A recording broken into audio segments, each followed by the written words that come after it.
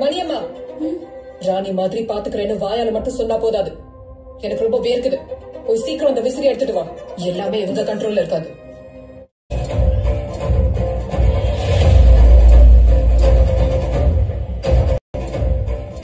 ஏ Maniyamma.